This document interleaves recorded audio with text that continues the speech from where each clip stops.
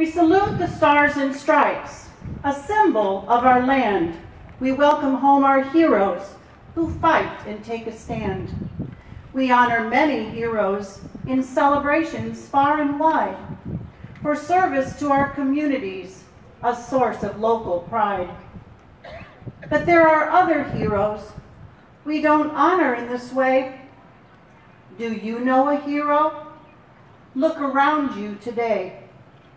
They are patients getting treatments, facing uncertain times, or the nurses and the doctors, caregivers on the front lines.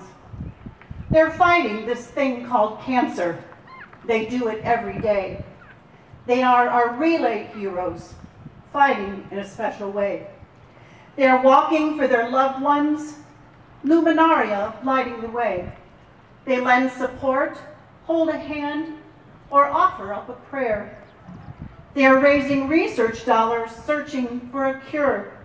Many people working so they can ensure that someday there will be a world with less cancer and more birthdays. A victory indeed. For 30 years of relays, our banner has also waved. It lifts our spirits, raises hope that more lives will be saved.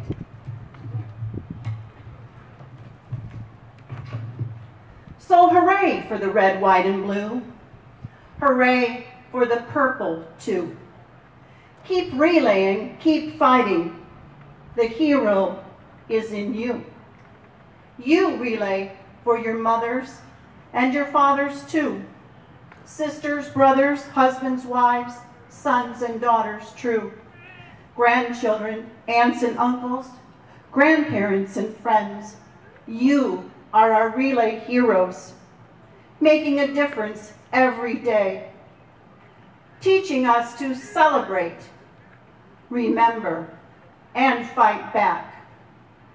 We wave our banner of hope that others will be inspired too.